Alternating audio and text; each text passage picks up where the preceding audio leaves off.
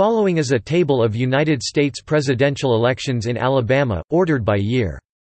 Since its admission to statehood in 1819, Alabama has participated in every U.S. presidential election except the election of 1864, during the American Civil War, when the state had seceded to join the Confederacy. Winners of the state are in bold.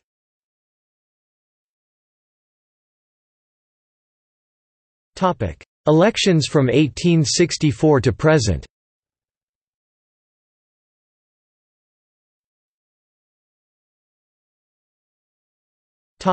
Election of 1860 The election of 1860 was a complex realigning election in which the breakdown of the previous two-party alignment culminated in four parties each competing for influence in different parts of the country. The result of the election, with the victory of an ardent opponent of slavery, spurred the secession of 11 states and brought about the American Civil War.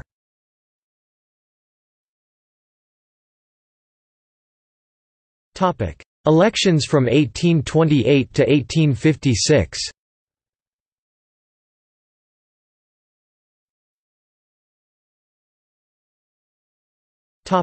Election of 1824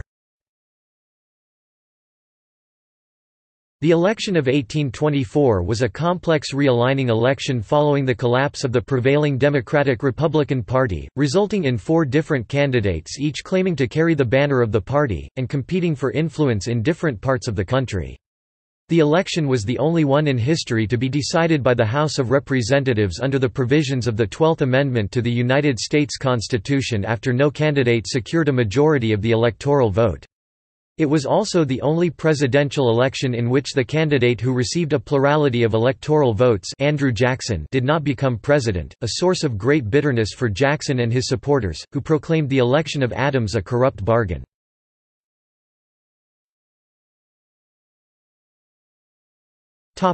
Election of 1820 In the election of 1820, incumbent President James Monroe ran effectively unopposed, winning all electoral votes including Alabama's five electoral votes except one vote in New Hampshire. The popular vote was primarily directed to filling the office of vice president.